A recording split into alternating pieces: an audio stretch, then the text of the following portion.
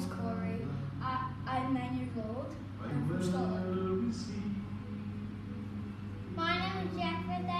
I'm from Scotland and I'm five years old. This is the Scotland flag. It has four four triangles. And one cross X. This is a Scottish teddy bear.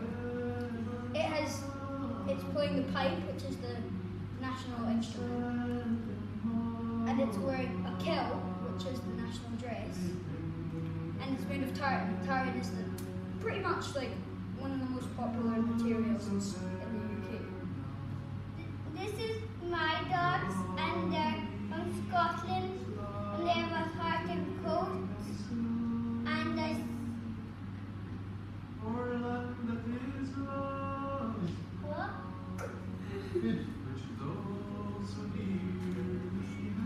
In Scotland, people like to cook stuff like haggis.